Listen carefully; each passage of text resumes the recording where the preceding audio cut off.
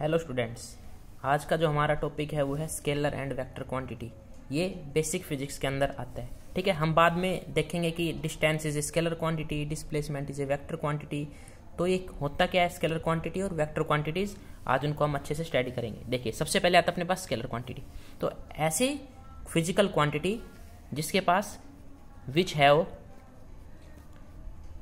only magnitude which have only magnitude not direction ये definition है इसकी।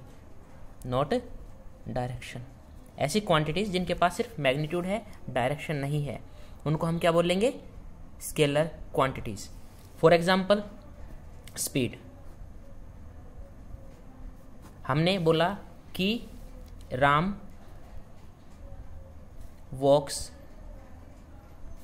टेन किलोमीटर यहाँ पे हमने किसकी बात की? मैग्नीट्यूड की। यहाँ पे कहीं पे डायरेक्शन की बात की? नहीं की। तो ये क्या हो गई? ये एग्ज़ाम्पल हो गया स्केलर क्वांटिटी का। इसके अंदर क्या आया? मैग्नीट्यूड क्या हो गया? Ten kilometre magnitude always positive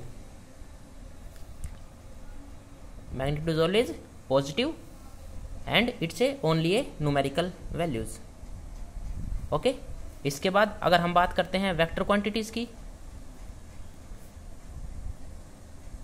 इसके अंदर स्पीड हो गया एग्ज़ाम्पल में और अपने पास क्या हो जाता है? टेम्परेचर और इसके एग्ज़ाम्पल मास लेंथ टाइम ये बहुत से एग्ज़ाम्पल है अपने पास स्केलर क्वांटिटी के। अगर मैं बात करता हूँ वेक्टर क्वांटिटी तो ऐसी क्वांटिटीज फिजिक्स के अंदर which have magnitude but as well as direction scalar के अंदर डायरेक्शन नहीं है, लेकिन वेक्टर के अंदर क्या होगा? Which have magnitude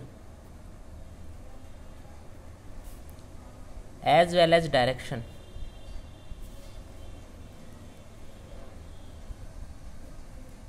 ऐसी क्वांटिटीज को हम क्या कहेंगे? Vector quantity for example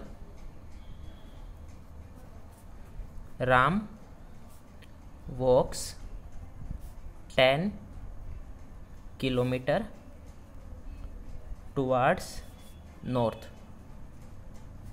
अब इसके अंदर टेन किलोमीटर मैग्नीट्यूड है and north is the direction तो ऐसी क्वांटिटीज को हम क्या कहेंगे? वेक्टर क्वांटिटीज ठीक है अब इसके अंदर हमारे पास क्या है? डायरेक्शन आया है और अपने पास यहाँ पे क्या है? मैग्नीट्यूड भी आया है। इसके एग्जाम्पल्स क्या होते हैं? फ़िज़िकल फिजिक्स के अंदर इसके एग्ज़ाम्पल को हम यूज़ करते हैं। डिस्प्लेसमेंट फोर्स एक्सलरेशन ये सारे क्या है? वेक्टर क्वांटिटीज है। अच्छा उसके बाद हम वेक्टर को रिप्रेजेंट कैसे करते हैं? हम वेक्टर को रिप्रेजेंट करते हैं एरो से। फॉर एग्ज़ाम्पल हमें बताना है कि A is a vector quantities then we will use arrow ये क्या हो गया अपने पास?